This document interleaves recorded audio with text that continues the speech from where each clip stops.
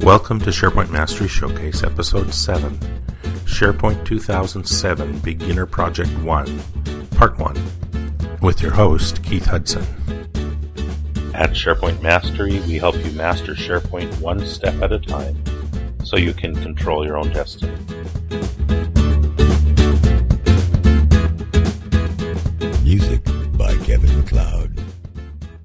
At SharePoint Mastery, we want to help you learn how to become a SharePoint power user as quickly as possible.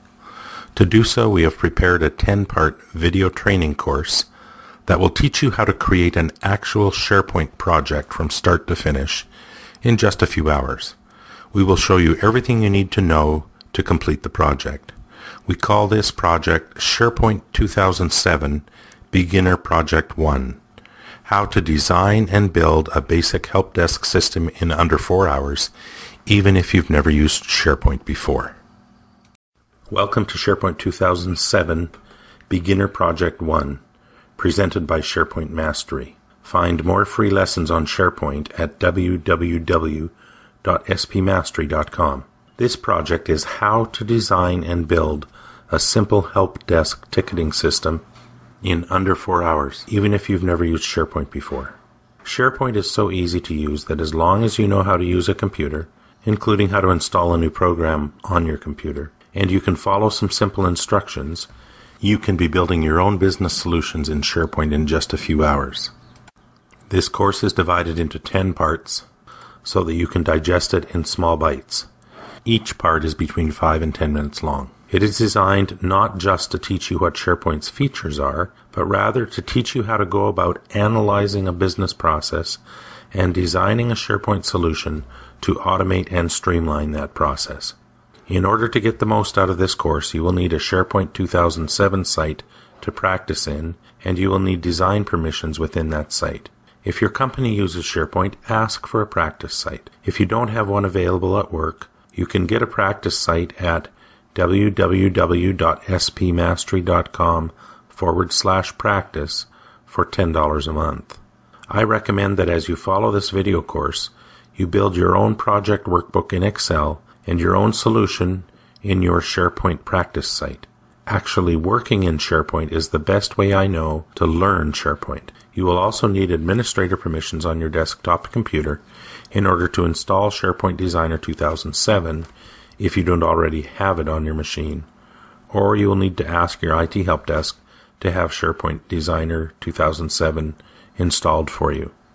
For this beginner project, we're going to pretend that you work in a small IT shop and that you are the person who receives computer desktop support requests and passes them to the appropriate desktop technician.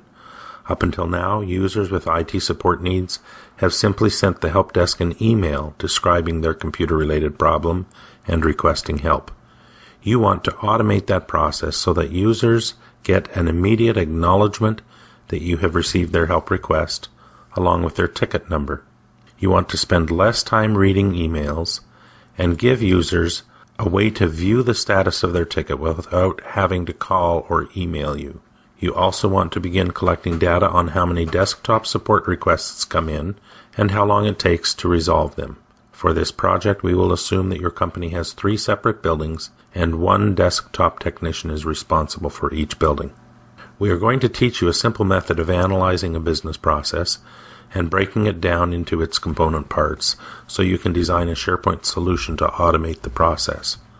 Before we start, let me make a couple of points about the design process. Your goal for your first project should be to build a simple working prototype. You can expand it later. While you are working on it, as you think of things that could be added to it, keep a record of those in a parking lot list. You can later modify your project to include additional capabilities. This is a good way to design any business solution in SharePoint as it allows you to test out your design in small increments. Back to our analysis method. We will call the SharePoint solution we are designing the system. The steps in this method are 1. Set out the basic operation of the system. 2. Identify the stakeholders. 3. Identify what objects are needed in the system. And 4. Record what actions the system needs to take. Once you have identified and recorded these elements of the system, you will be able to begin designing how the system will work. The four steps in designing the system are not necessarily sequential. As you work through each of the four steps, you might need to go back and add or clarify information in a previous step. It is a good idea to write down the information you are gathering about the system. A simple way to keep track of the information is to create a project workbook in Excel with tabs for the basic operation of the system, the stakeholders, the objects, and the actions. You can also have a tab with the details of the lists that you need to build in SharePoint. As you create more information surrounding the design of your system, you can add new tabs to your workbook as needed. Let's also add a parking lot tab. The basic operation of our help desk system is end users submit computer problems to the help desk. The system creates a numbered ticket and assigns it to a desktop technician. The system sends the user an email with the problem ticket number.